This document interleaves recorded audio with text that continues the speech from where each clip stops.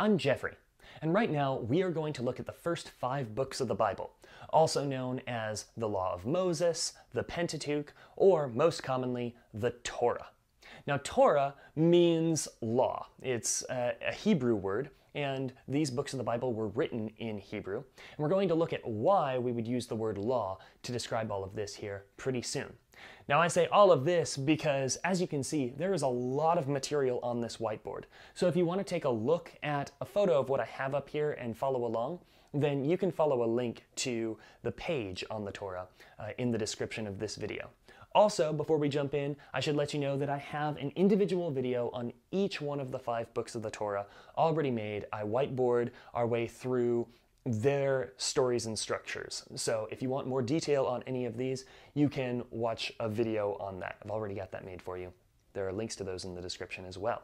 Now, let's go ahead and get a high level look of what we're talking about when we're talking about the Torah, what it's about, and then we're going to see how the five individual books come together to make the foundation of the Bible.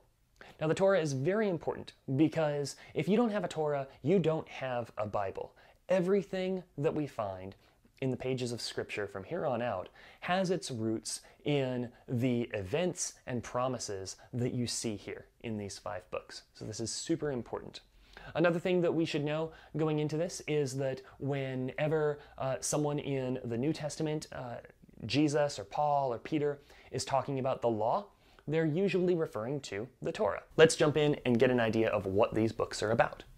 Now, the Torah begins with Genesis, and from a high level view, Genesis gives us the origin stories of Israel's relationship with God and their ancestors. In the first half of Genesis, we see God creating and ruling the cosmos.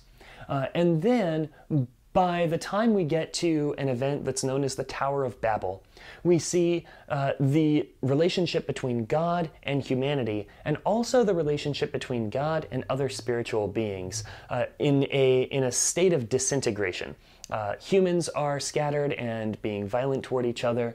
We have uh, other spiritual beings that are in rebellion against God and seeking to bring about harm on, on humans as well. So it's not a very good situation. And what we have in, uh, in the book of Genesis is we have humans scattering uh, and becoming different nations. And later on in the book of Deuteronomy, we find that the ancient Israelites believed that at that time the, the different nations split up and they were assigned different gods. So different nations had their own pantheons, uh, which we see with the ancient Hittites, we see it with the ancient Chaldeans, we see it with uh, especially the ancient Egyptians. They're probably the most famous. And so while humans are splitting up into different nations with different gods, the God that the Israelites believed was above all of them, ruling the entire cosmos, chooses a man named Abraham directly. In fact, he makes a series of promises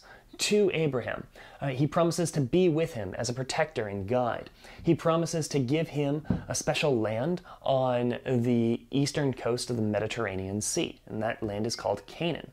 Uh, he promises to give him many descendants, and he promises that from Abraham all the nations of the world will be blessed. So, although God and humans are uh, at odds with one another, God does plan to bring a blessing about for everyone. And all of that is set up in the book of Genesis, and it ends with some of Abraham's descendants finding their way to Egypt to escape a famine.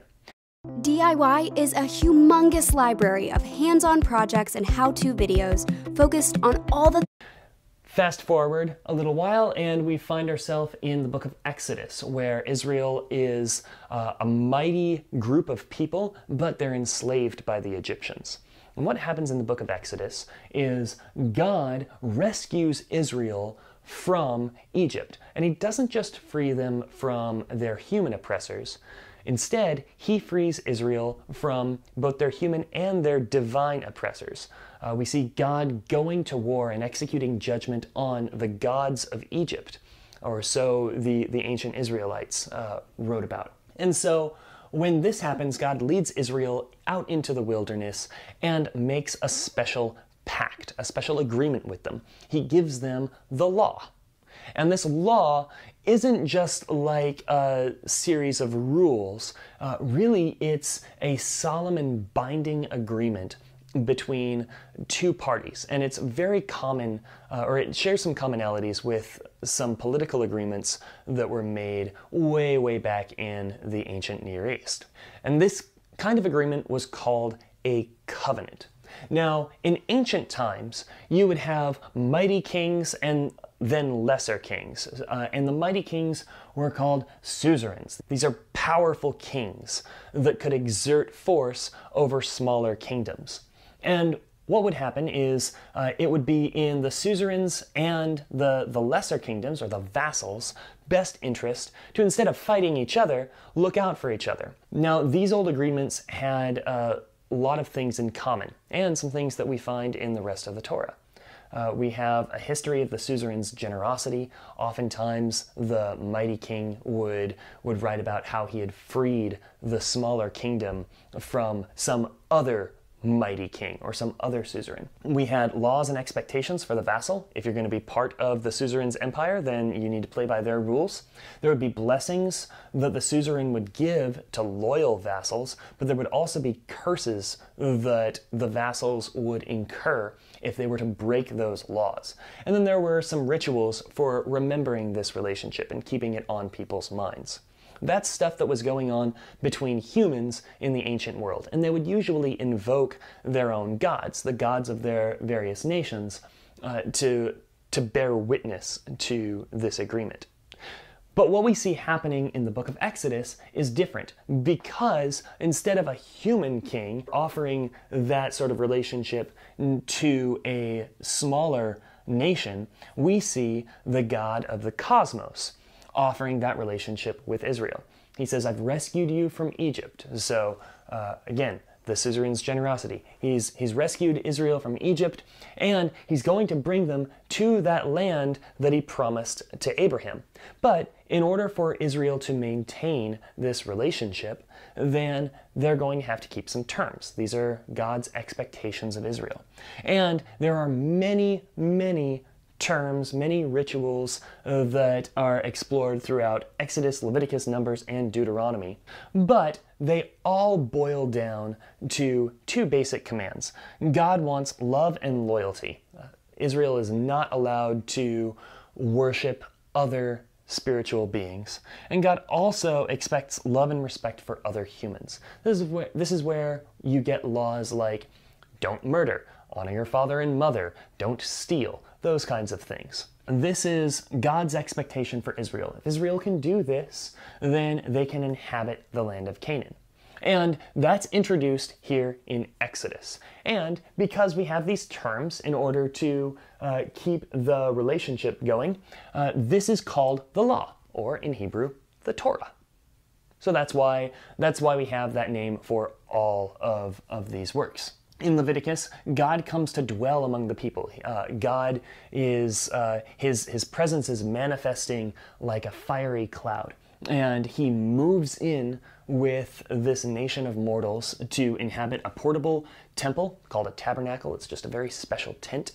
And so Israel needs to figure out well, how do we deal with such a powerful being living among us? And that's what the book of Leviticus explores. There are different rules and rituals that the ancient Israelites believed would make it, uh, make it possible for them to coexist in the presence of such a mighty being.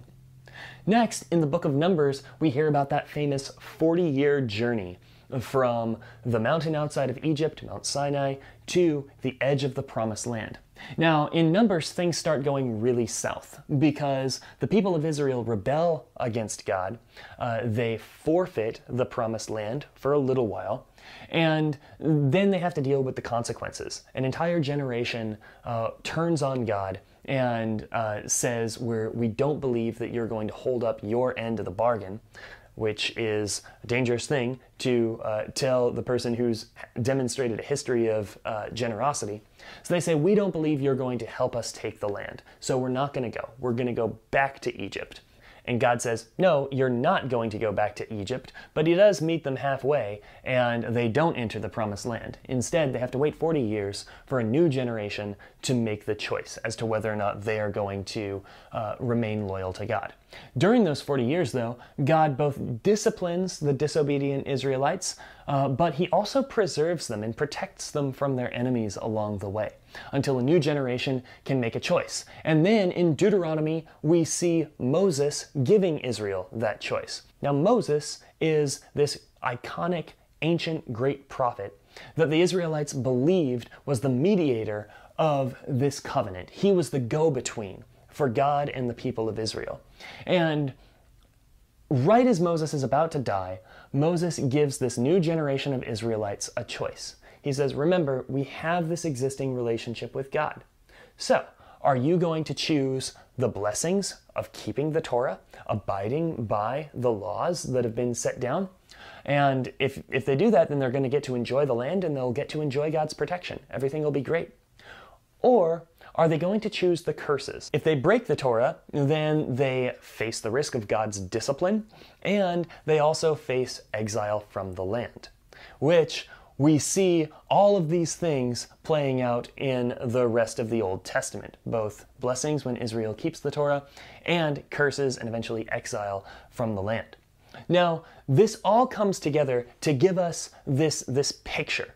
Uh, we see these promises that God has made and this agreement that God has made with Israel in order for them to keep the land.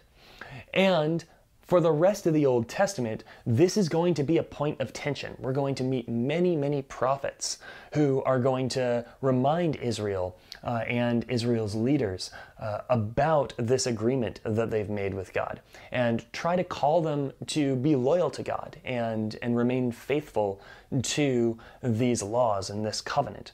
And sometimes Israel obeys and things start to go better for them. And other times they don't obey and things get worse.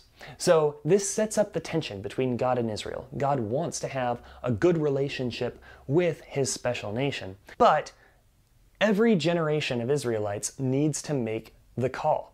Are they going to accept that offer, or are they going to try and make this work on their own? And the story of those choices form the rest of the Old Testament. So that's the Torah.